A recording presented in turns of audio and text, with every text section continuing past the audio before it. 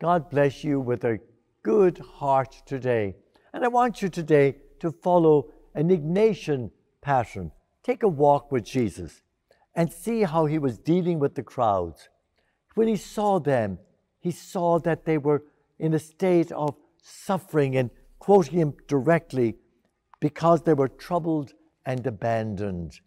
And so, as you walk with him, do you know some people who are troubled and abandoned? Or maybe you feel troubled or abandoned sometimes. How do you feel you should deal with that? Do you go to the Lord and ask Him to give you the grace you need?